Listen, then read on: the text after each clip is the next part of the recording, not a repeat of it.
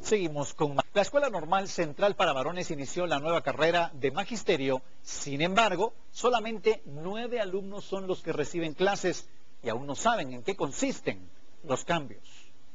Ellos son los nueve estudiantes que se encuentran cursando el bachillerato en hacerle bullying con orientación y educación en la Escuela Normal Central para Varones.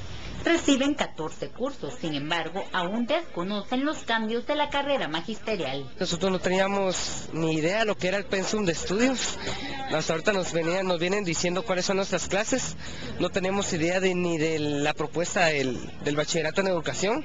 Nos están dando más o menos las clases de un bachillerato en ciencias y letras pero eh, básicamente con dos o tres materias orientadas a la educación, pues creo que no es, no es lo apropiado, pues, y no es a lo que va el magisterio. El director de este centro educativo afirmó que siguió los pasos impuestos por el Ministerio de Educación. Sin embargo, ve preocupante la falta de afluencia de estudiantes en la nueva carrera. Pues es bastante preocupante, ¿verdad? En el sentido de que el año pasado, comparando las cantidades, nosotros para cuarto magisterio de educación primaria, había un total de 60 alumnos para cuarto y existían dos secciones.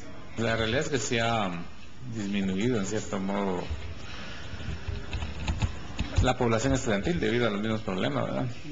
Incluso se habían asignado alrededor de varios estudiantes para la la carrera de educación, de magisterio de educación bilingüe intercultural.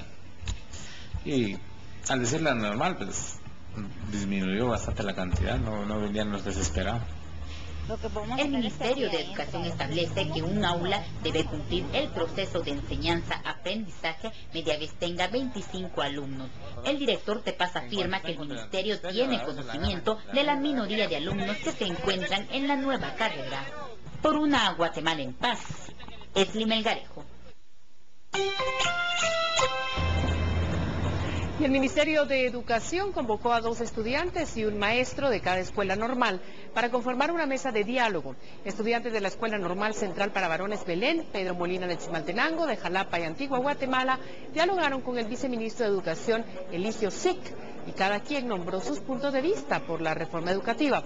El diálogo continuará hasta llegar a un acuerdo.